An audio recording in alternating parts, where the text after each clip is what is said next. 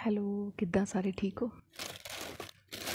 ਅਹ ਸੂਰਜ ਚਾਂਦ ਦੀਆਂ ਐਸਪੀ ਬਚੀਆਂ ਸੀਗੀਆਂ ਪੇਸਟ ਠੀਕ ਹੈ 1 2 ਫਿਲਹਾਲ ਇੰਨੀਆਂ ਹੀ ਬਾਕੀ ਬਾਅਦ ਚ ਦੇਖਦੇ ਆ